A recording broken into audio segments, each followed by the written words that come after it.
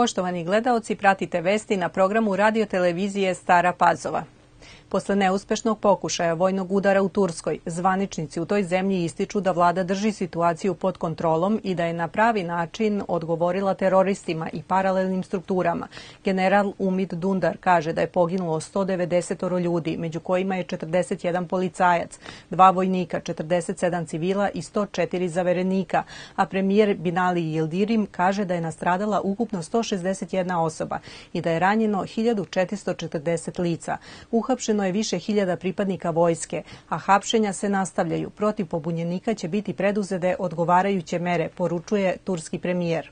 Turski predsednik Recep Tayyip Erdogan poslao je danas SMS poruku pretplatnicima turskih mreža mobilne telefonije u kojoj ih poziva da izađu na ulice i ustanu protiv manjeg dela vojnog vrha. Islamska država preuzela je odgovornost za napad na šetalištu u Nici, u kojem su poginule 84 osobe, a 202 ranjene. Osoba koja je izvela napad je jedan od vojnika Islamske države, saopštila je novinska agencija AMAG, koja podržava Islamsku državu, prenosi Reuters. On je sproveo operaciju u odgovoru na pozive da se napadaju državljani zemalja koje su deo koalicije koja se bori protiv Islamske države, navodi se u saopštenju. Među 84 mrtvih nakon napada u Nici je desetoro dece i desetoro tinejdžera, potvrdio je francuski tužilac François Molin i dodao da ima oko 202 ranjenih od kojih se više desetina još bori za život. Vlada Srbije formiraće zajedničke timove policije i Vojske Srbije koji će zaštititi granice Srbije od ilegalnog ulaska migranata, ali i od ilegalnog i kriminalnog ponašanja naših i tuđih krijumčara, izjavio je danas predsednik Vlade Srbije Aleksandar Vučić.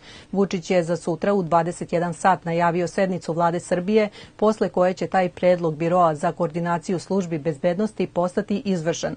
Vučić je na konferenciji za novinare rekao da je na današnjoj sednici Biroa odlučeno da se na osnovu člana 39 zakona o odbrani formiraju zajedničke snage policije i vojske i da je za to potrebna saglasnost predsednika Srbije Tomislava Nikolića, koju je on i usmeno dao. Premijer je rekao da je migratska kriza za Srbiju najteža, da je od jutros u 7 sati na teritoriji Srbije registrovano 2699 lica, od toga preko 85% iz Afganistana i Pakistana i veoma mali broj lica iz Sirije. U Srbiji je u prva četiri meseca ove godine po skraćenoj proceduri registrovano 18.064 firme, rečeno je Tanjugu u Agenciji za privredne registre.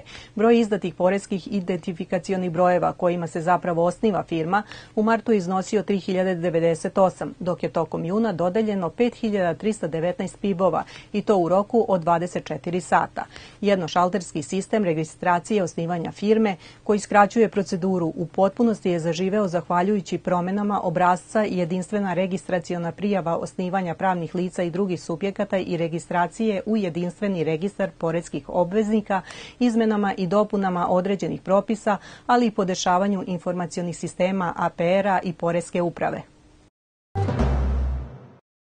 Skupština Skuda Hero Janko Čmelik u Staroj Pazovi jednoglasno je izabrala 29-očlani novi upravni odbor na čelu sa predsednicom Ljibuškom Lakatoš.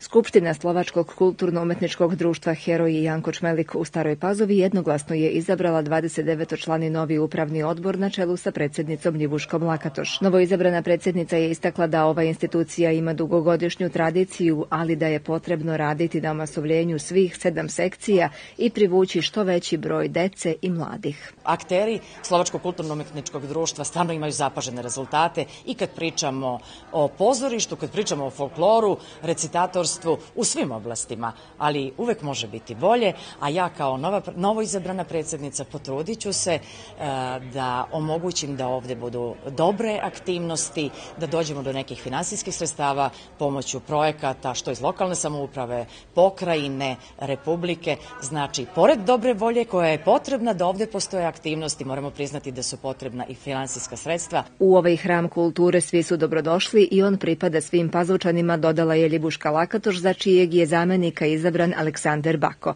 Odmah nakon izborne skupštine održan je i prvi sastanak nove uprave koja je funkciju direktora izvršnog odbora i u narednom četvorogodišnjem mandatu poverila Zdenku Uheliju. Ove četiri godine su mi bile dobre za nauk, znači šta i kako raditi i mislim da a, ću sada malo iskusnije voditi sve ovo.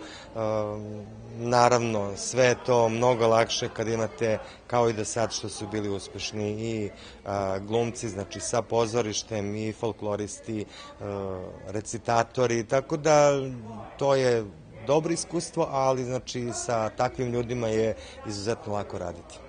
Bez obzira na to što je leto, vrata Skuda Čmelik su svakodnevno otvorena. Članovi pozorišta već sledeće nedelje odlaze sa predstavom Ad Infinitum u Trebinje na festival festivala, a folklorni ansambl Klasije se početkom avgusta sprema u Češku na festival Janošikov Dukat.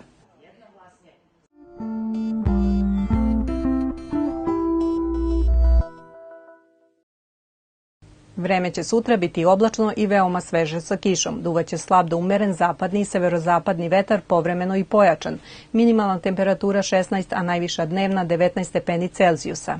Bile su ovo vesti radio televizije Stara Pazova. Hvala vam na pažnji. Ostanite uz nas.